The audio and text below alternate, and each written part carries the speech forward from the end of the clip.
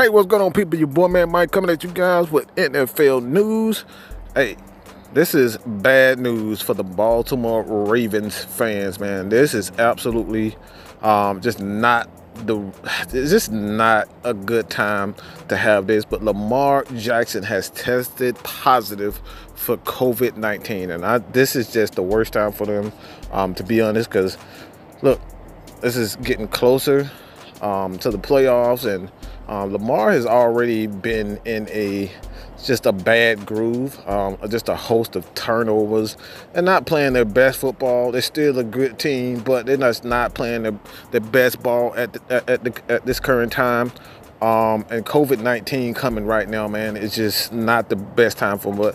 Um, so my thing is, is I have a question for you guys, and I want to know: Is this eliminate? Does this kind of put Baltimore out of favor as far as being a contender for the Super Bowl. Let's just be honest, man. If he is out for at least another 14 days, you know what I'm saying? At least for a two week quarantine time, like this is just not a good um, time for them. So I want to know if he is out for 14 days, does this eliminate Baltimore as a potential Super Bowl contendee? All right, so leave your comments below. Do not forget to hit that subscribe button. Your boy, man, Mike Azad, man. Peace.